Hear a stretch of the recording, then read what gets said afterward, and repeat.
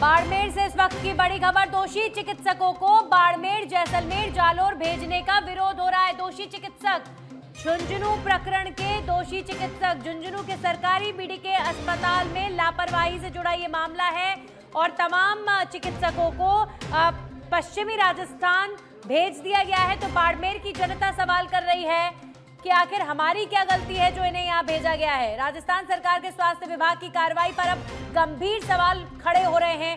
दोषी चिकित्सकों को झुंझुनू से बाड़मेर जैसलमेर और जालौर में लगा दिया गया है, जिसका वहाँ के लोग अब विरोध कर रहे हैं। लोगों ने कहा कि बाड़मेर, जैसलमेर नहीं है कोई कचरा संग्रहण केंद्र।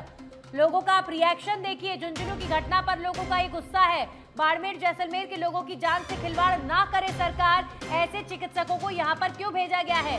हीन भावना से बाड़मेर, जैसलमेर में पोस्टिंग देना सरकार के क्षेत्र के प्रति सोच को दर्शाता है।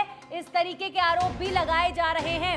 झुंझुनू में एक ज़िंदा व्यक्ति को मृत घोषित करके उसे डीप फ्रीजर में रखा गया और फिर बाद में इस व्यक्ति की मौत हो जाती है। मुख ये युवक रोहितास, जिसकी मौत हो जाती है इस मामले में जो दोषी डॉक्टर्स हैं, उन्हें पश्चिमी राजस्थान भेजा गया तो बाड़मेर के लोगों ने इसका विरोध किया है।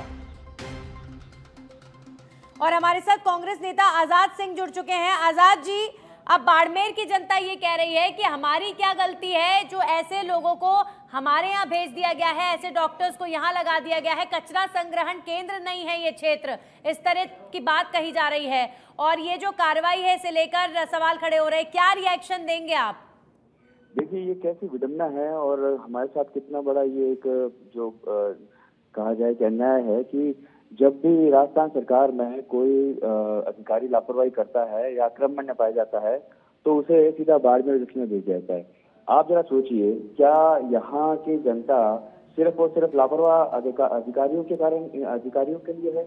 इसी तरह का जो है फैसला इन्होंने सरकार ने कल किया है। जिन्होंने तीन चिकित्सा कर्मी जो इस तरह की एक तरह से की अपराधी घटना है मैं तो ये कहूँगा कि ज़िंदा व्यक्ति का जो है पोस्टमार्टम कर दिया और उन तीनों को जो है बाद में इसमें भेज दिया गया। क्या उनकी लापरवाही के शिकार होने के लिए अब हम लोग हैं या फिर हम, मैं हमें जो है इस तरह के अन्यायपूर्ण फैसले का जो है भुगतने पड़ेंगे। सर आपका सवाल ये जायज़ है बाड़मेर की जनता का भी सवाल जायज़ है और इसी सवाल को हम उठाने के लिए कि आखिर कोई स्ट्रिक्ट एक्शन क्यों नहीं हुआ? झुंझुनू के इन डॉक्टर्स को पश्चिमी राजस्थान भेज दिया जाता है जैसलमेर भेज दिया जाता है लेकिन यहाँ एक बड़ा गंभीर आरोप आप लगा रहे हैं कि जिन्हें राजस्थान में कहीं जगह नहीं दी जाती उन्हें बाड़मेर जैसलमेर क्यों भेजा जाता है? पूरे राजस्थान में सबसे ज़्यादा राजस्व देने वाला जो जिला है वो हम हैं। जी। अगर ग्रामीण क्षेत्र के लिहाज से बात करें तो। हमें यहाँ पर सबसे बेहतरीन जो है अधिकारी भेजे जाने चाहिए। कई हमारे यहाँ बेहतरीन अधिकारी काम कर भी रहे हैं पर इसके बावजूद सरकार की हमेशा एक मनोदशा होती है कि जो भी लापरवाही पूर्ण काम करता है जो योग्य नहीं है अधिकारी उन्हें बाड़मेर में भेज दिया जाए सजा के तौर पे। क्या बाड़मेर में भेजना जो है सजा के रूप में मानती है सरकार को? आज़ाद जी आपके इन सवालों का या बाड़मेर की जनता के जैसलमेर की जनता के इन सवालों का जवाब ज़रूर हम उम्मीद करेंगे कि सरकार की तरफ़ से ज़रूर आएगा कि आखिर इस क्षेत्र में ऐसे लोगों की तैनाती क्यों की जाती है जो राजस्थान के सभी क्षेत्रों से रिजेक्ट हो जाते हैं।